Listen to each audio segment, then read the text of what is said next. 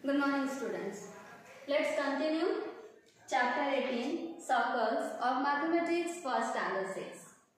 Let's continue the chapter. Next question. Draw a circle with center O. You have to draw a circle with center O. With center O. And radius 4 centimeter.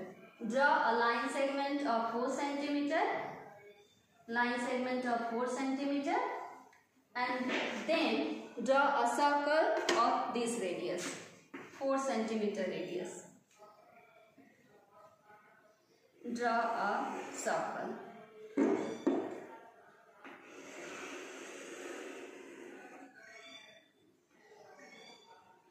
This one is the circle of radius 4 centimeter.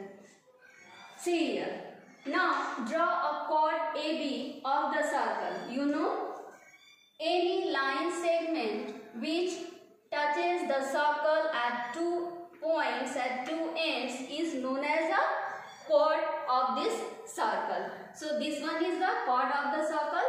The name of this chord is AB. AB.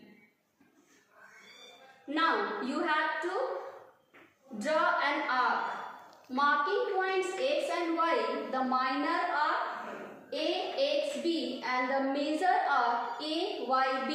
Minor arc AB. AXB is the minor arc. So, this one is the x and the major arc is AYB. So, right here y.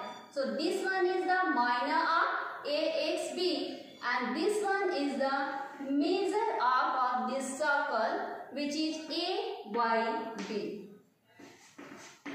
This is the solution of this question.